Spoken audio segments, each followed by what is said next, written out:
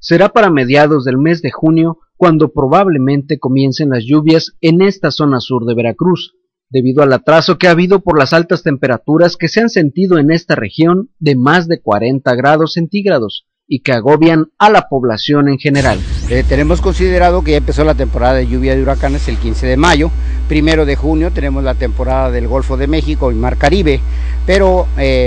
la Comisión Nacional del Agua nos está informando que hay posibilidades de que la temporada de lluvias de, perdón, la temporada de estiaje se, se, se, adelante un poquito más o se atrase un poquito más las lluvias.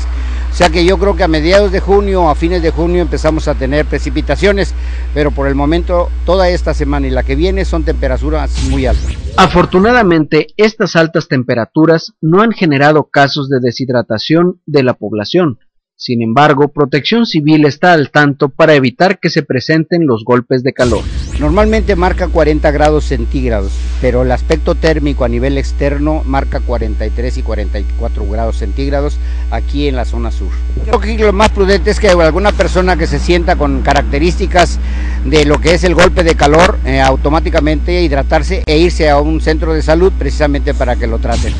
Para TBS Noticias, tvsureste.com